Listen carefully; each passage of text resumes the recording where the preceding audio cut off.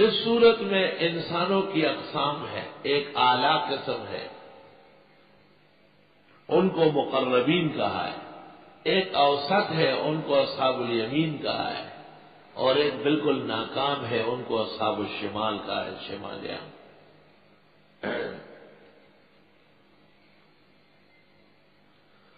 सूरत नहायत इकसीर है, खासकर रिजक की फरावानी में। और रिजक और रोज़गार की तकालीफ दूर करने में। बिलखसूस अगर मर्द रात को यासीन और औरतें वाक़ पढ़े। मगरब के वक्त से लेकर शहरी तक ये पूरी, पूरा वक्त पढ़ लें।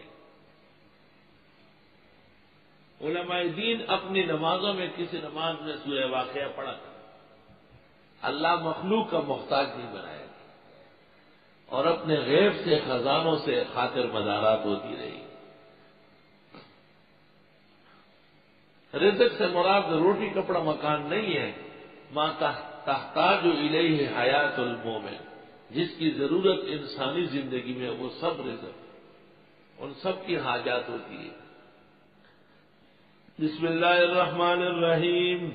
इजा वक़ातिल वाक़या।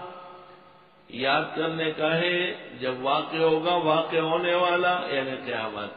लैसल वक़ात काजिबा। नहीं है उसके वाक़ होने में कोई झूठ